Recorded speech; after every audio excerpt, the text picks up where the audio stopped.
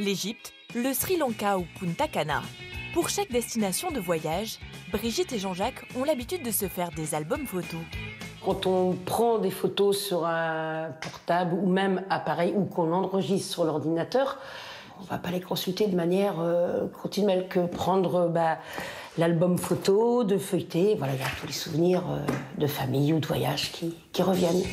Alors, de retour d'Afrique du Sud, le couple ne déroge pas à la règle. Et le plus dur, c'est peut-être de trier et de sélectionner les photos stockées sur son ordinateur, car Jean-Jacques déclenche souvent son réflexe numérique. Je regarde toutes mes photos, j'en ai fait à peu près 2500, et sur les 2500, je vais en choisir euh, peut-être 50, euh, 100 sur un thème, notamment les animaux. Il faut ensuite les télécharger et mieux vaut s'armer de patience. Cela peut être long si les fichiers sont lourds et si le débit de connexion Internet est faible. Alors je viens de terminer le téléchargement de mes photos et je vais maintenant la faire de la mise en page. C'est lui qui choisit le nombre de photos par page, les recadre, ajoute des filtres ou du texte. De son côté, Brigitte réalise pour la première fois un album directement sur une application avec des photos prises uniquement avec son smartphone.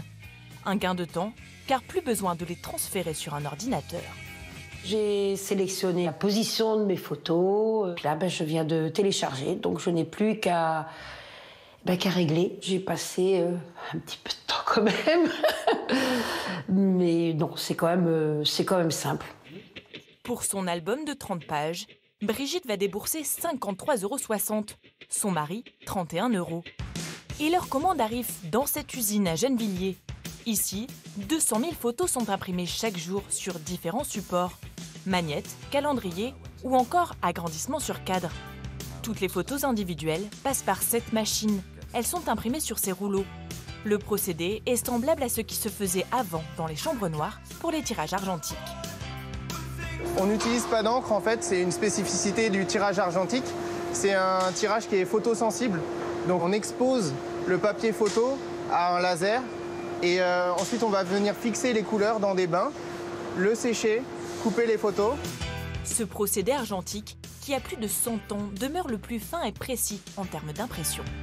On a une petite optimisation d'image qui permet de rehausser un petit peu les contrastes, mais dans tous les cas, euh, on ne peut pas avoir une meilleure qualité euh, de fichier que ce qui est transmis par le client.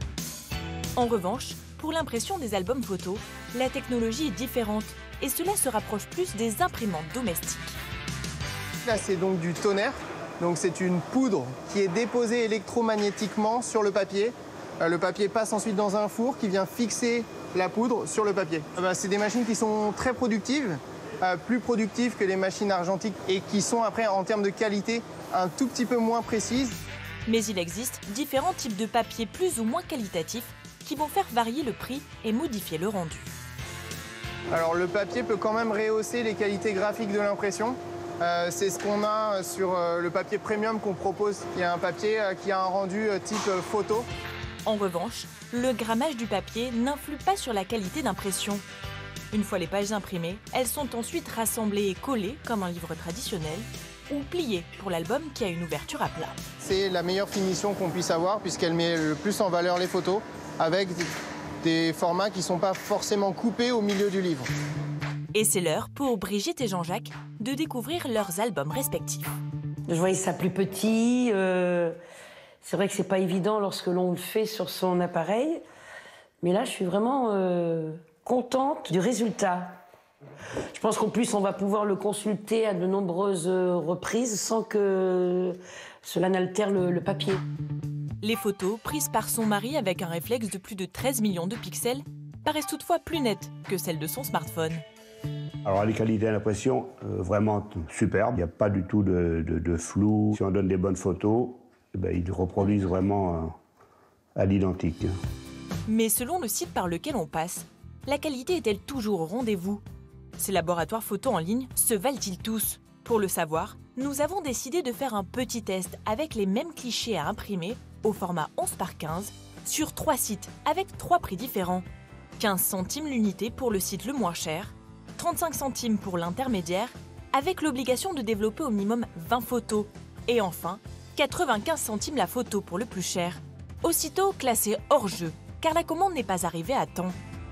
Et nous ne sommes pas au bout de nos surprises, car entre la photo à 15 centimes et celle à 35 centimes, toutes les deux prises avec des smartphones, c'est la moins chère que notre expert préfère, celle sans liseré blanc.